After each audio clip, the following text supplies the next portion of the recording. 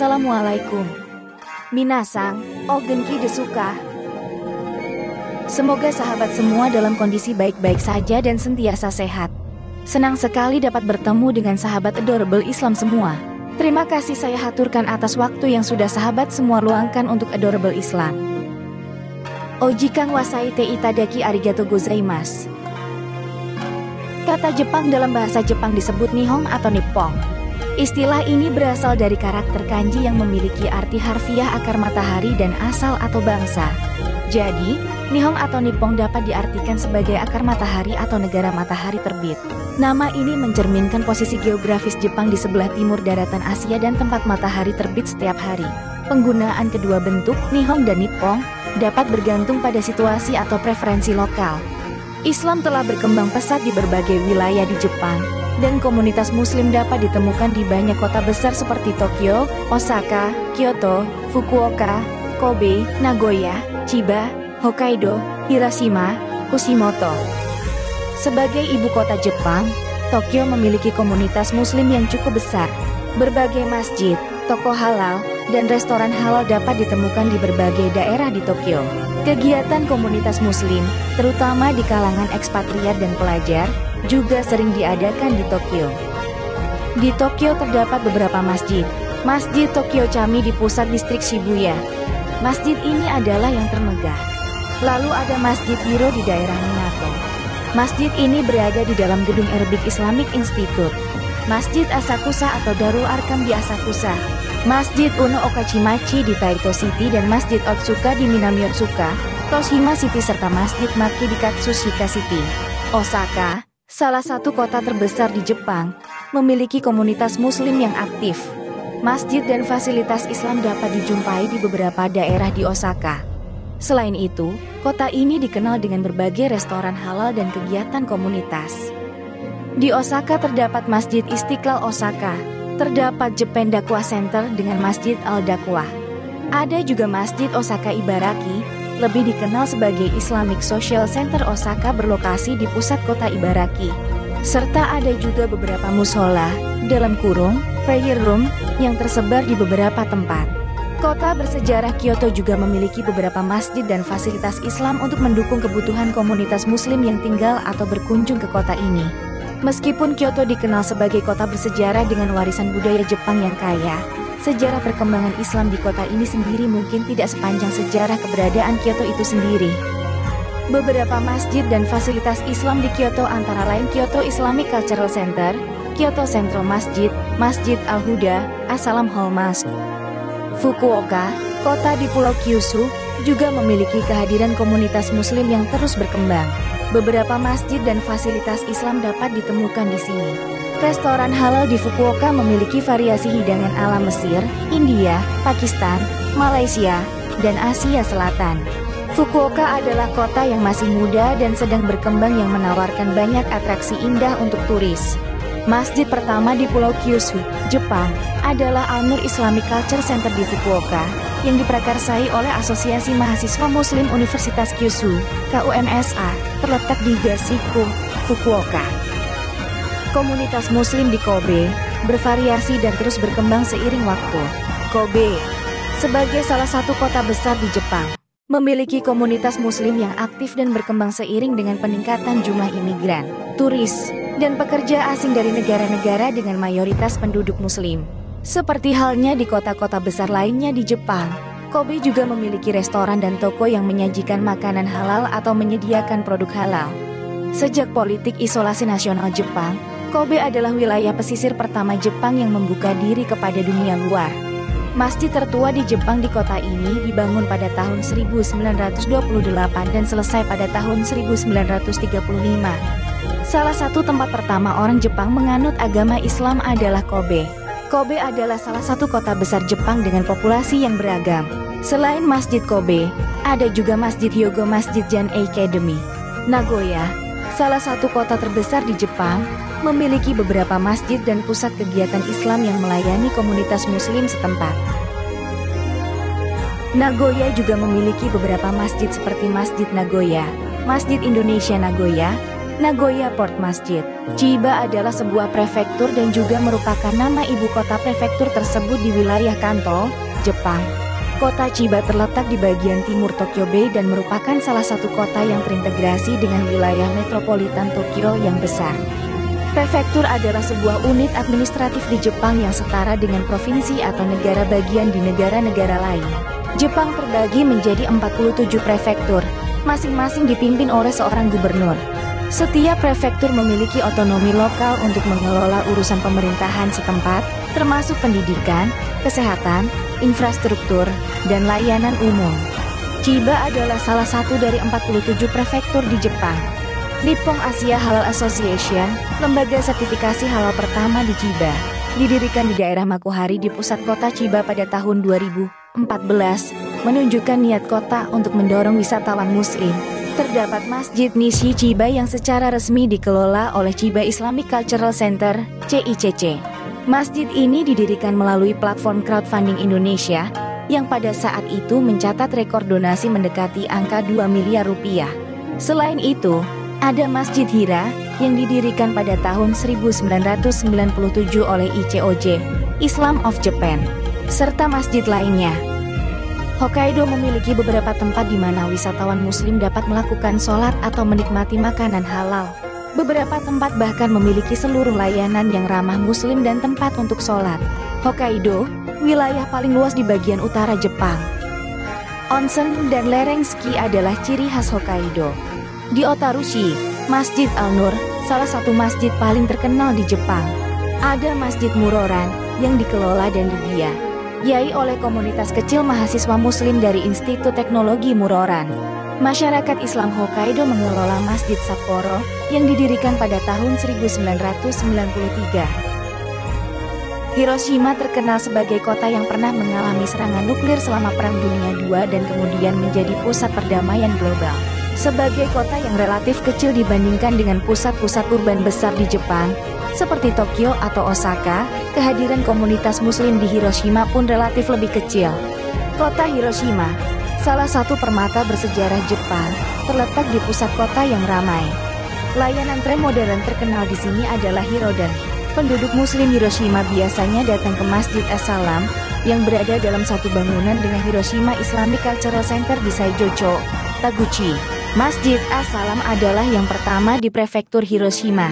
Selain masjid ini, masih ada beberapa masjid lainnya di Hiroshima, seperti Mihara Masjid Jepang di Saijocho, Taguchi, Masjid Kasumi di Minamiko, Kasumi. Kushimoto adalah kota kecil di prefektur Wakayama, Jepang, yang dikenal sebagai lokasi bencana kapal Artuguro milik Kesultanan Utsmaniyah yang dikirim ke Jepang sebagai bagian dari upaya diplomasi pada akhir abad ke-19.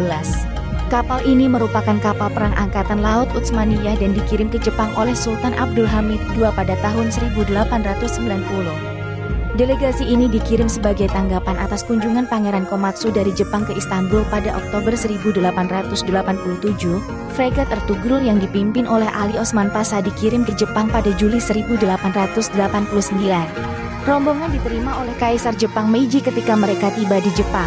Pada 15 September 1890, fregat meninggalkan kota itu, tetapi mereka terjebak oleh topan September yang melanda Jepang Selatan setiap tahun pada saat itu. Kapal malah menabrak karang saat hendak kembali ke Kobe, yang lebih dekat dengan lokasinya. Sekitar tengah malam pada tanggal 18 September 1890, kapal hancur dalam benturan pertama. Dalam peristiwa tersebut, 533 perwira dan pelaut, termasuk Laksamana Muda Ali Osman Pasha, hilang. Di Kushimoto, tempat kecelakaan itu terjadi, monumen untuk para martir didirikan pada tahun 1891. Ini menjadi momen penting dalam hubungan antara Turki dan Jepang. Di bagian timur Pulau Honshu, Kanto adalah tempat lain di Jepang yang ramah Muslim. Okinawa terletak di bagian selatan dan memiliki banyak fasilitas yang juga ramah bagi wisatawan Muslim. Tohoku adalah tempat ramah Muslim lainnya yang ada di Jepang. Pada umumnya, Muslim merupakan kelompok minoritas di Jepang. Populasi muslim di Jepang diperkirakan berada di bawah satu persen dari total populasi negara tersebut. Sementara mayoritas penduduk Jepang mengidentifikasi diri mereka dengan agama Shinto dan Buddhisme, perlu dicatat bahwa di Jepang sering kali praktik keagamaan bersifat lebih kultural daripada keagamaan pada dirinya sendiri. Banyak orang Jepang mengikuti tradisi Shinto dan Buddhisme secara bersamaan, Shinto adalah agama asli Jepang yang memiliki hubungan erat dengan kepercayaan tradisional dan kebudayaan masyarakat Jepang. Shinto tidak memiliki naskah suci tertulis dan struktur ajaran yang terorganisir secara formal seperti agama-agama Abrahamik. Oleh karena itu, Shinto lebih dikenal sebagai serangkaian praktik dan ritus keagamaan yang terkait dengan kepercayaan pada roh, dalam kurung, kami, yang dianggap menghuni alam semesta dan alam sekitar. Sinto melibatkan penghormatan terhadap roh alam, leluhur, dan kekuatan alam. Ritual-ritual ini dapat dilakukan di kuil-kuil Sinto atau situs-situs alam suci. Meskipun Sinto dan Buddhisme berkembang bersama-sama di Jepang dan memiliki sejarah panjang saling mempengaruhi, keduanya adalah agama yang berbeda. Buddhisme, yang diperkenalkan ke Jepang dari Tiongkok pada abad ke-6, membawa sistem kepercayaan dan ajaran tertulis dalam bentuk sutra. Buddhisme menekankan pembebasan dari penderitaan, dalam kurung, nirwana, melalui pemahaman dan praktik tertentu. Penyebaran Islam di Jepang secara umum lebih banyak terjadi di era modern, terutama setelah Perang Dunia II dan dengan adanya globalisasi serta migrasi internasional. Masjid dan fasilitas Islam seperti masjid dan toko halal lebih merupakan respons terhadap kebutuhan komunitas muslim yang semakin berkembang di kota ini. Pendirian fasilitas ini biasanya terkait dengan pertumbuhan jumlah mahasiswa asing, pekerja asing, dan wisatawan muslim yang tinggal atau berkunjung ke Jepang. Perlu dicatat bahwa Jepang sebagai negara telah memiliki kontak dengan dunia muslim sejak abad ke-8 melalui perdagangan dan hubungan diplomatik dengan negara-negara muslim di Asia. Meskipun kontak ini tidak selalu berkaitan dengan penyebaran agama Islam, hubungan perdagangan dan budaya antara Jepang dan dunia muslim telah ada selama berabad-abad melalui perniagaan. Meskipun di masa lampau jalur sutra menjadi sarana terjadinya pertukaran budaya yang menjadi salah satu faktor penyebaran Islam, namun jalur sutra lebih berfokus pada jalur darat dan lintas benua yang menghubungkan Asia Tengah, Timur Tengah, dan Asia Timur. Jalur sutra tidak secara langsung melintasi Jepang, karena Jepang adalah sebuah kepulauan di pesisir timur benua Asia yang memanjang dari timur laut ke barat daya. Oleh karena itu, kontak budaya antara Jepang dan negara-negara muslim dalam sejarah umumnya melibatkan hubungan maritim dan perdagangan laut. Perdagangan laut dan jalur perdagangan maritim menjadi saluran utama untuk pertukaran barang, budaya, dan ide antara Jepang dan dunia muslim rute perdagangan laut tersebut umumnya melibatkan perairan Laut Cina Timur dan Laut Jepang dan berlangsung antara Jepang dan wilayah-wilayah seperti Tiongkok, Korea, dan Asia Tenggara. Meskipun Islam pertama kali masuk ke Jepang pada abad ke-8 melalui kontak dengan pedagang dari Timur Tengah dan Asia Selatan, namun penetrasi Islam pada periode ini masih terbatas dan berjalan lambat. Hubungan Islam dengan Jepang mulai meningkat pada abad ke-19 seiring dengan meningkatnya hubungan ekonomi dan diplomatik antara Jepang dengan negara-negara muslim. Ini membawa masuknya sejumlah kecil imigran muslim ke Jepang. Pada abad ke-19, Jepang mengalami periode yang disebut sebagai restorasi Meiji 1868 hingga 1912 di mana negara ini mengalami transformasi besar-besaran dari rezim feodal menjadi negara industri modern. Seiring dengan transformasi ini, Jepang mulai memperluas hubungan diplomatik dan perdagangan dengan negara-negara asing, termasuk negara-negara muslim. Restorasi Meiji merupakan sebuah peristiwa penting dalam sejarah Jepang yang terjadi pada periode transisi antara abad ke-19 dan abad ke-20. Pada awal abad ke-19, Jepang berada di bawah pemerintahan rezim feodal yang dikenal sebagai Kesogunan Tokugawa. Restorasi Meiji yang terjadi antara tahun 1868 hingga 1912 merupakan usaha untuk mengakhiri dominasi kesorgunan dan mengembalikan kekuasaan kepada kaisar. Kesogunan Tokugawa merujuk pada rezim feodal yang berkuasa di Jepang dari awal abad ke-17 hingga restorasi Meiji pada akhir abad ke-19. Rezim ini didirikan oleh Tokugawa Ieyasu setelah kemenangan dalam pertempuran Sekigahara pada tahun 1600 dan berakhir setelah restorasi Meiji pada tahun 1868. Kesogunan Tokugawa menandai periode Edo di Jepang dan dikenal dengan sistem pemerintahan yang sangat sentralistik dan kontrol ketat terhadap masyarakat. Ciri utamanya termasuk penegasan kelas samurai sebagai kelas penguasa, kebijakan isolasionis Sakoku yang membatasi hubungan dengan dunia luar, dan penetapan sistem kediaman Sakoku yang membatasi mobilitas sosial serta menetapkan perdagangan terbatas dan menerapkan sistem ekonomi yang berbasis pada produksi agraris. Selama Perang Dunia II, hubungan Jepang dengan dunia muslim terhenti karena keadaan perang. Namun, setelah perang, Jepang mulai membangun kembali hubungan diplomatik dan ekonomi dengan negara-negara muslim. Pada tahun 1950-an dan seterusnya, Jepang secara aktif terlibat dalam diplomasi ekonomi dan perdagangan dengan negara-negara muslim. Penandatanganan perjanjian perdagangan dan kerjasama ekonomi membantu membangun kembali hubungan bilateral dan meningkatkan interaksi antara Jepang dan negara-negara muslim. Pada dekade-dekade terakhir abad ke-20, terjadi peningkatan imigrasi muslim ke Jepang. Peningkatan imigrasi muslim ke Jepang pada dekade-dekade terakhir abad ke-20 disebabkan oleh sejumlah faktor ekonomi dan sosial. Beberapa faktor utama yang mempengaruhi peningkatan ini melibatkan kebutuhan tenaga kerja, perubahan demografis, serta perubahan dalam kebijakan imigrasi dan tenaga kerja. Banyak dari mereka adalah pekerja asing yang datang untuk bekerja di sektor-sektor tertentu. Pada tahun 1935, Masjid Kobe didirikan menjadi masjid pertama di Jepang. Masjid tersebut didirikan oleh komunitas muslim lokal yang berada di Jepang. Masjid Kobe memiliki peran penting dalam sejarah Islam di Jepang dan menjadi pusat aktivitas komunitas muslim di negara tersebut. Pendirian masjid ini bukan hanya sekedar memenuhi kebutuhan tempat ibadah namun juga mempertahankan identitas keagamaan Islam di Jepang. Seiring berjalannya waktu dan dengan meningkatnya jumlah penduduk muslim di Jepang, berbagai masjid dan pusat Islam lainnya juga didirikan di berbagai kota. Di Jepang memang tidak ada monumen atau situs tertentu yang secara spesifik menjadi saksi perkembangan Islam di Jepang dalam skala yang mirip dengan monumen atau situs bersejarah di beberapa negara dengan sejarah Islam yang panjang. Namun begitu, beberapa tempat mencerminkan perkembangan Islam dan keberadaan komunitas muslim di Jepang. Masjid Kobe Masjid Kobe adalah masjid pertama yang didirikan di Jepang pada tahun 1935 dengan jasa arsitek asal Ceko, Jen Joseph Sfager. Masjid Kobe merupakan satu-satunya bangunan yang tidak hancur meski terguncang gempa sekaligus saksi bisu dahsyatnya bom perang dunia II. Masjid ini simbol perkembangan awal Islam di negara ini. Masjid Kobe dibangun dengan gaya Timur Tengah, tetapi bentuk jendelanya yang meruncing mirip dengan Masjid India dan Persia. Saat Perang Dunia Kedua, Kobe hancur oleh bom, tetapi Masjid Kobe tetap berdiri kokoh.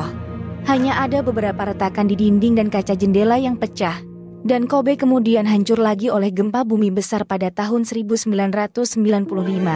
Namun, Masjid Kobe tetap kokoh. Masjid Kobe adalah bukti hubungan yang baik antara Jepang dan negara-negara muslim.